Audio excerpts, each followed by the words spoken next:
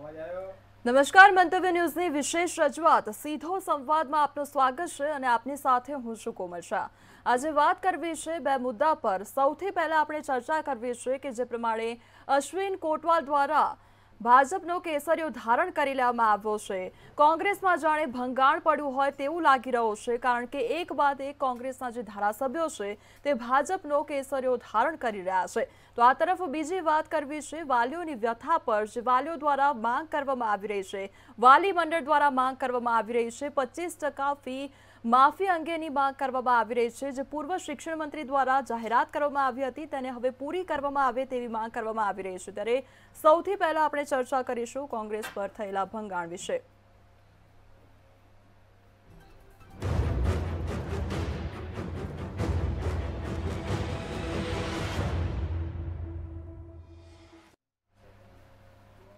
તો જે પ્રમાણે પક્ષ પલટાનો દોર શરૂ થઈ ગયો છે અને આજે પણ આપણે જોયું કે ખેડબ્રહ્માના જે ધારાસભ્ય અશ્વિન કોટવાલ છે તે ભાજપમાં જોડાઈ ચૂક્યા છે અને કોંગ્રેસ તરફથી નારાજગી વ્યક્ત કરવામાં આવી રહી છે. એક બાદ એક જે ધારાસભ્યો છે તે કોંગ્રેસ છોડીને ભાજપમાં જોડાઈ રહ્યા છે. ત્યારે ઘણા બધા સવાલો તેને લઈને થઈ રહ્યા છે કે આખરે પરેશાની શું છે કોંગ્રેસમાં? શું સમસ્યાઓ સામે આવી રહી છે? શા માટે એક બાદ એક ધારાસભ્યો ધારાસભ્યો દ્વારા કોંગ્રેસ છોડી દેવામાં આવી રહ્યું છે અને શા માટે તે લોકો ભાજપનો ભગવો ધારણ કરી રહ્યા છે. આ તમામ મુદ્દાઓ પર ચર્ચા કરવા માટે અમારી સાથે ગેસ્ટ પેનલમાં આપ નેતા મિહિરભાઈ પટેલ જોડાઈ ગયા છે. આ સાથે કોંગ્રેસ નેતા મુકેશ પટેલ જોડાઈ ચૂક્યા છે. તો મંતવ્ય ન્યૂઝના એસોસિએટ એડિટર પ્રફુલભાઈ ત્રિવેદી પણ અમારી સાથે જોડાઈ ચૂક્યા છે અને કોંગ્રેસ નેતા મુકેશભાઈ પંચાલ અમારી સાથે જોડાઈ ચૂક્યા છે.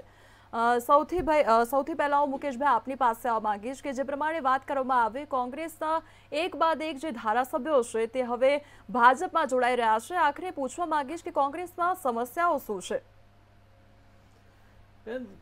સૌથી પહેલાં તો આજે અશ્વિનભાઈ ગયા કોટવાલ અને આ ડિબેટ રાખવામાં આવી. એટલે મને આમ તો કંઈ સમજાયું જ નહીં કે અશ્વિનભાઈ તો ક્યારના લગભગ છેલ્લા ત્રણ મહિનાથી જવું, આવું જવું, આવું અને એવું કંઈ નક્કી અંદર કરી રહ્યા હશે ભાજપ સાથે. પણ અમારે ત્યાંથી જવા કરતાં મને એવું લાગે છે કે અશ્વિનભાઈ કોટવાલ અહીંયા દંડક હતા, અહીંયા ધારાસભ્ય હતા, કેટલાય સમયથી એમની કામગીરી સારી અને કોંગ્રેસ આજે વિરોધ પક્ષમાં હોવા છતાં એમને ધારાસભ્ય કોંગ્રેસના બનાવ્યા ટિકિટ આપી અને તેઓ ચૂંટાયા. અને એમને જે કંઈ પદ આપવાનું હતું તે આપ્યું, એમને પ્રભારી પણ બનાવવામાં આવ્યા હતા. ઘણા બધા પદથી એમને નવાજવામાં આવ્યા પણ છતાંય એમની શું નારાજગી છે? એમણે પક્ષના પ્રમુખશ્રી હોય કે અમારા ઇન્ચાર્જ હોય, એમને વાત કર્યા વગર એ સીધી મીડિયામાં વાત કરે. એક તો એ બહુ જ ખોટી વાત છે, કારણ કે અમારા જે ઇન્ચાર્જ છે, ઓબ્ઝર્વર, એમણે ચોખ્ખું કહેલું છે કે મીડિયામાં નારાજગી વ્યક્ત કરવી કે કરવું જાહેરમાં એ તદ્દન શિસ્તભંગ જેવી વાત કહેવાય. કારણ કે જે કોઈ નારાજગી હોય, નાની મોટી હોઈ શકે. કારણ કે કોંગ્રેસ ખૂબ મોટી અને જૂની પાર્ટી છે, રાષ્ટ્રીય પાર્ટી છે. એની અંદર ક્યાંક ને ક્યાંક કંઈક નારાજગી આટલા બધા કાર્યકર હોય ત્યાં હોય. પણ તો એ આંતરિક વાત છે ને આંતરિક વાતનો નિવેડો હંમેશા પક્ષના મોવડી મંડળોને મળી અને આવી શકતો હોય છે. પણ અશ્વિનભાઈ કોટવાલના એમના પોતાના પ્રશ્નો શું હોય, એમના વિસ્તારના પ્રશ્નો શું હોય સરકાર તરફથી એમને દબાણ કંઈ લાવવામાં આવ્યું હોય કે એન કેન પ્રકારે આ બીજેપીની સરકારે કંઈક એવું કર્યું હોય જેથી અશ્વિનભાઈ આ નિર્ણય લીધો? નહીં તો છેલ્લા બે ત્રણ મહિનાથી આ વાતો વહેતી થતી હતી, પણ કંઈ નિર્ણય લેવામાં નહોતો આવતો. હવે વાત કરીએ અશ્વિનભાઈ ભાજપમાં ગયા. તો ભાજપમાં જઈને એ કરશે શું? આજે સવાલ એ છે કે અહીંયા પણ ધારાસભ્ય હતા, ત્યાંય ધારા, ત્યાં કંઈ અશ્વિનભાઈ કોટવાલને મુખ્યમંત્રી બનાવી દેશે એવું તો કંઈ છે નહીં. જો બનાવી દે તો અભિનંદન કહેવાય, આદિવાસીના મુખ્યમંત્રી કહેવાશે.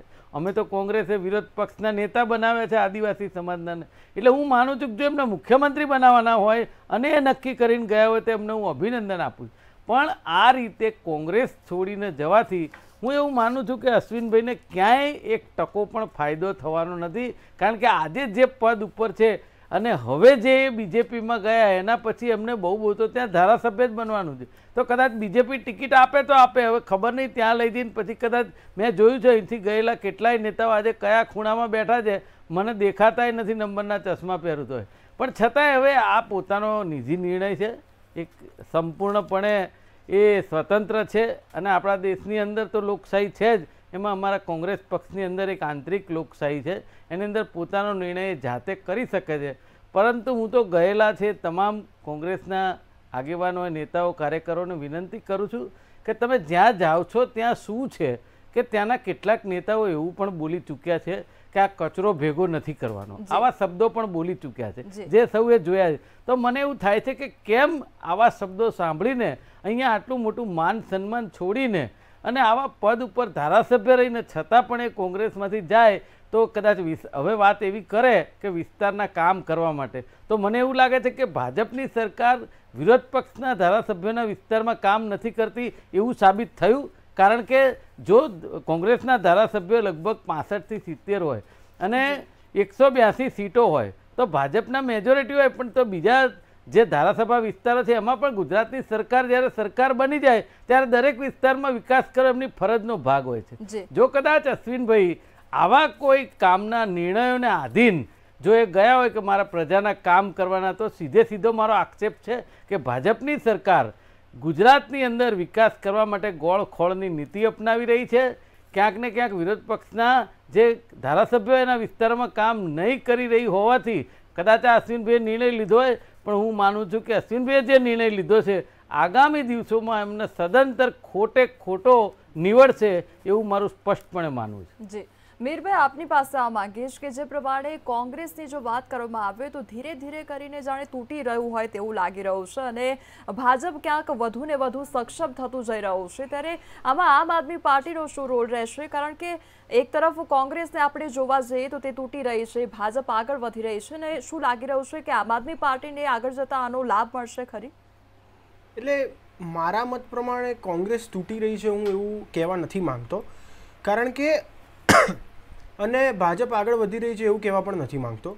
કારણ કે તમે બે જોડી કપડાં બાજુના ઘરમાંથી ઉધાર લાવીને તમારા ઘરના એંગરમાં લટકાવો ઇટ ડઝન્ટ મીન કે તમારી પાસે કપડાં વધારે થયા, કે કપડાં વધ્યા. હવે દરેક નેતા કોઈ મનસાથી જ ભાજપમાં જોડાય છે, પૈસાની લાલચથી જ ભાજપમાં જોડાય છે, એવું નથી હોતું. જે પ્રમાણે ગુજરાતની અંદર આ મહાભ્રષ્ટ ભારતીય જનતા પાર્ટીની તાનાશાહી ગુંડાગર્દી.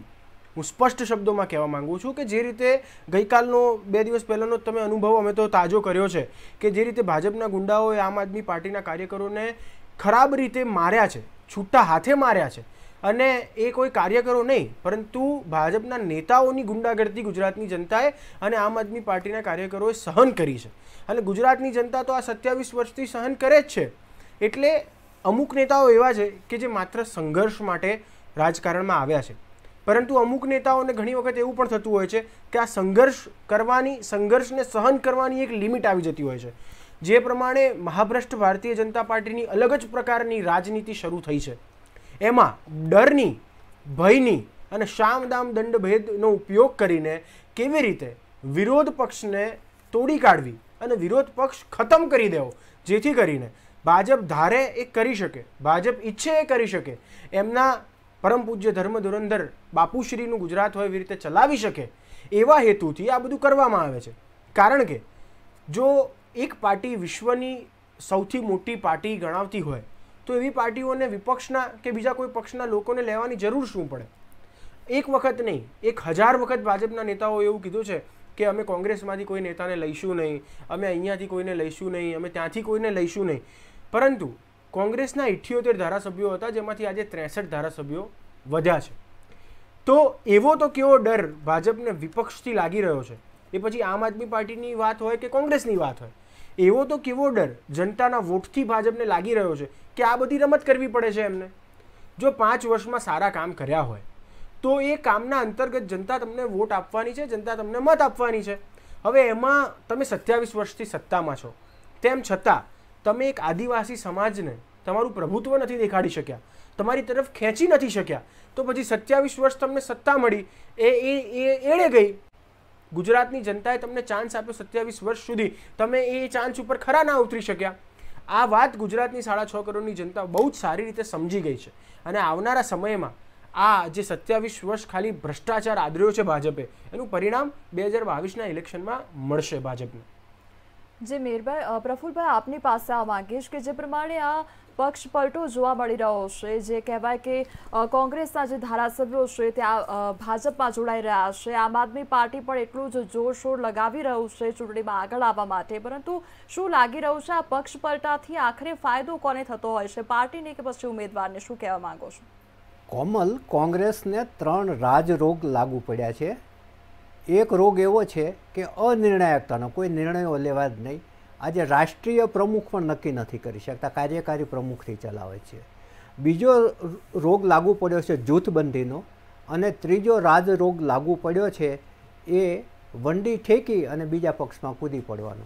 જોકે હમણાં એક નેતાએ, કોંગ્રેસના નેતાએ બહુ સરસ શબ્દ વાપર્યો કે અમારે ત્યાં વંડી છે જ નહીં કે. એટલે એનો અર્થ એ કે હવે એમને જ્યાં જવું હોય ત્યાં જઈ શકે છે. આજે તમે જુઓ કે કાર્યકારી પ્રમુખ પણ મીડિયા આગળ ભડાસ કાઢે છે. જો એમના પ્રભારી એમ કહેતા હોય કે મીડિયા આગળ સીધે સીધો તમારો આક્રોશ કે તમારી અસંતોષ છે તમે વ્યક્ત કરતા હોય, તો એ અશિસ્ત ગણાય.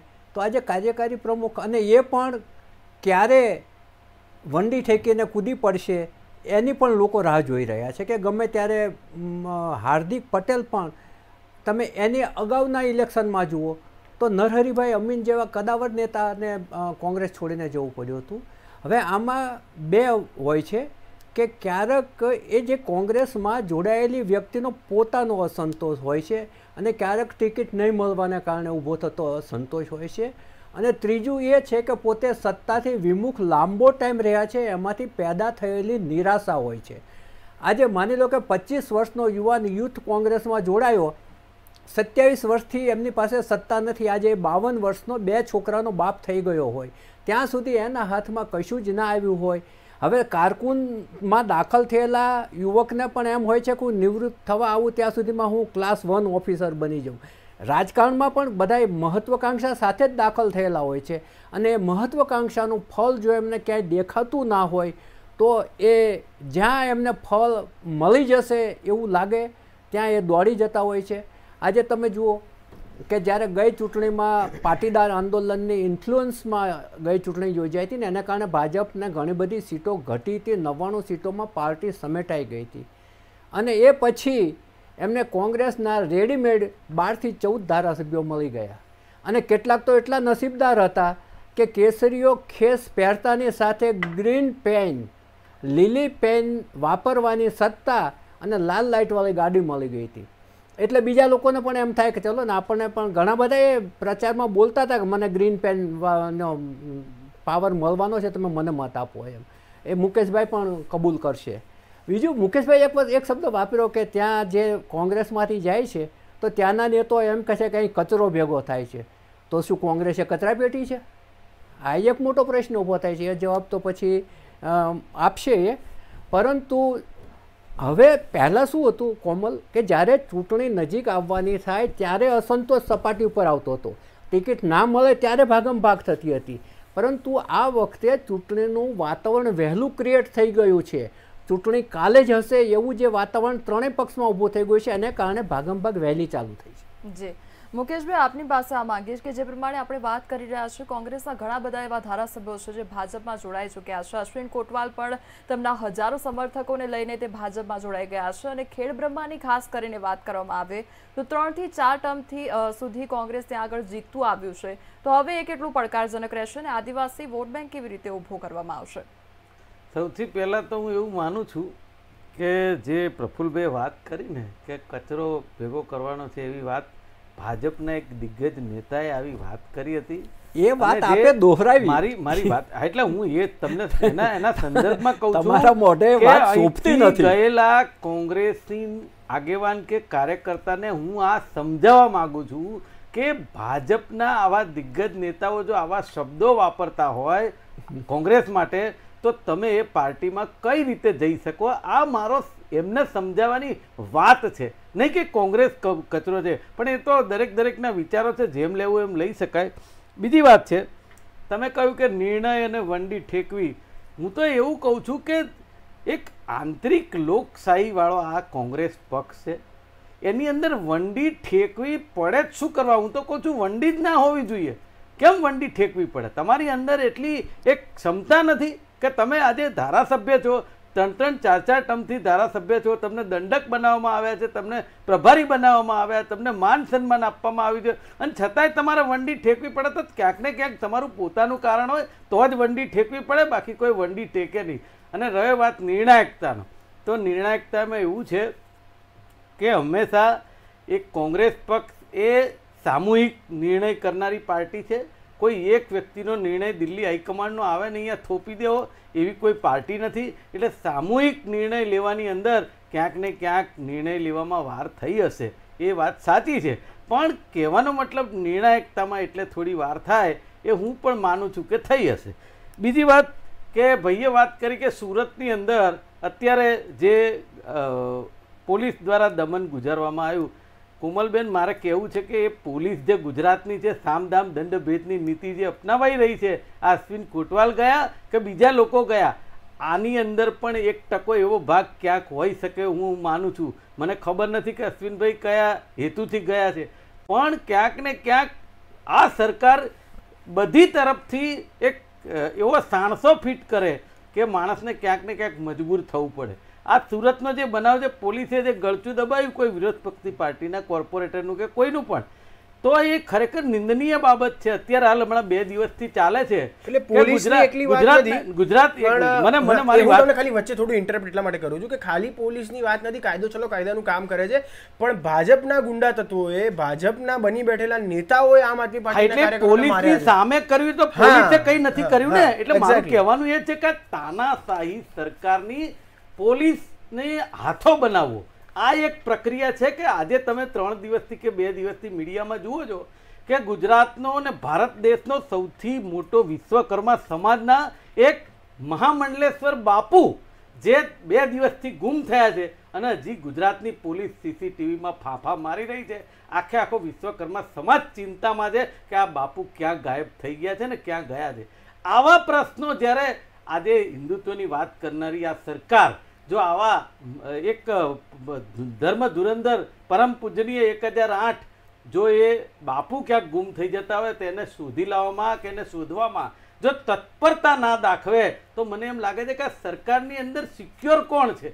આવી જ્યારે હોય અને એવી સરકારની અંદર પણ, જો કોંગ્રેસના કે કોઈ પણ પાર્ટીના લોકો ભાજપની અંદર જો જોડાવા માંગતા હોય તો મને એમ લાગે છે, એમને ત્યાં શું દેખાય છે એ તો એમનો ભગવાન જ જાણે. મને કંઈ ખબર નથી, પણ અશ્વિનભાઈ કોટવાલ માટે હું કહેવા માગું છું એકસો ને પચાસ ટકા અશ્વિનભાઈ જે એમના વિસ્તારમાં જીતતા હતા માત્ર ને માત્ર કોંગ્રેસની વિચારધારાવાળા મતદારોના કારણે જીતતા હતા. નહીં કે અશ્વિનભાઈ પોતાની એક છબીના કારણે. પોતાની છબી સારી હોય જ કારણ કે ધારાસભ્ય કોંગ્રેસે બનાવ્યા છે અને કામ કરતા હોય, પણ એવું રખે ને માની લેવું કે આજે હું ભાજપમાં જતો રહીશ એટલે આખે આખો મતદાર સમાજ મારી પાસે આવી જશે, એવું ક્યારેય માની લેવાની જરૂર નથી.